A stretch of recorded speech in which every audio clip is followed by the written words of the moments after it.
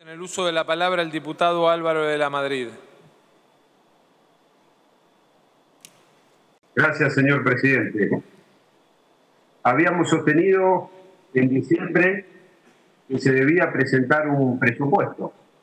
El gobierno optó por la emergencia, por quitarle la facultad al Congreso que había recuperado después de 16 años, por hacer prevalecer nuevamente los superpoderes y las facultades extraordinarias.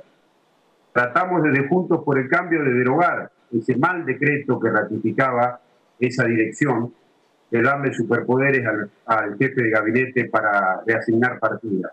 Incluso otros bloques que desde la palabra se dicen opositores y habían presentado proyectos en ese sentido, no dieron quórum y, y, ahondaron esa situación. Mire, señor presidente, yo creo que eh, lo que estamos tratando hoy es la demostración de que, de que no teníamos presupuesto y teníamos razón. Ahora tenemos que votar a las apuradas esta ampliación de presupuesto. Y el presupuesto se debió haber presentado. No es cierto que no hubo tiempo y no es cierto que todo es eh, por la pandemia. El presupuesto se debió presentar en diciembre y la situación de la pandemia empezó en marzo, después de la votación de la emergencia económica se optó por ese camino. El rumbo económico del gobierno ha sido desafortunado en estos primeros meses de gestión. Por eso que los deudores no confiaban en el gobierno. Han, imprimido como si no hubiese mañana. Se llegó a un nivel de estamplación, es decir, inflación con recesión y un déficit fiscal que es temerario.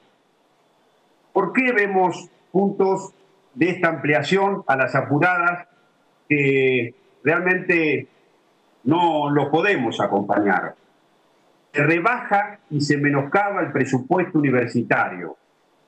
Se refuerza el centralismo fiscal y se vuelve a menguar el federalismo. Se afianza la discrecionalidad y se la consuma. Y no se restringen los tratamientos diferenciales eh, de fondos de acreedores de, la deuda.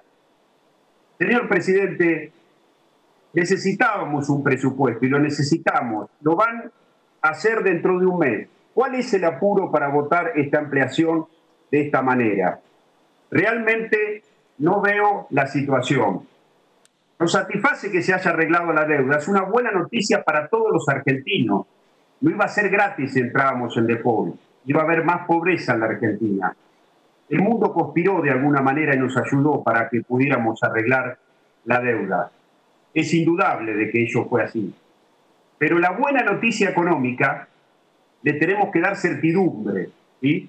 Certidumbre es posibilitar que puedan venir las inversiones a la Argentina, que recobremos la seguridad jurídica, el tránsito republicano, que recuperemos la cordura cívica, el gobierno eh, deje de acusar a la oposición cuando lo único que hace es colaborar, colaborar y colaborar con la mejor predisposición.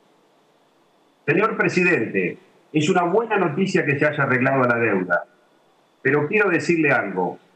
Si se insiste con una reforma judicial que solamente es para generar impunidad, vamos a ir a la vuelta de la esquina y a los cinco minutos derrochando esta posibilidad a otro default a otro default que va a afectar la desconfianza política que ya genera el gobierno ante los inversores y ante el mundo.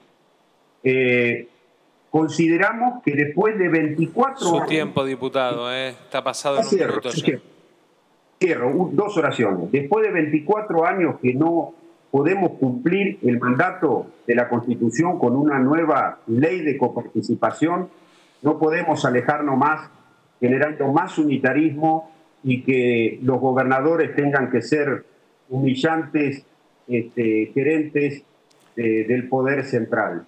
El federalismo en la Argentina debe ser... Diputado, lleva un minuto y medio pasado en su tiempo. Ahí sí tenemos que apuntar. Muchas gracias, señor presidente, por su voluntad para dejarme terminar la idea.